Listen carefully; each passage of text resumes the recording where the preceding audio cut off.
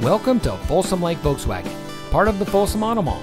And here's another look at one of our quality pre owned vehicles that comes equipped with rear spoiler, leather wrapped steering wheel, alloy wheels, heated front seats, rain sensitive windshield wipers, Sirius XM satellite radio, rear view camera, tire pressure monitoring system, keyless entry, navigation system, and has less than 40,000 miles on the odometer.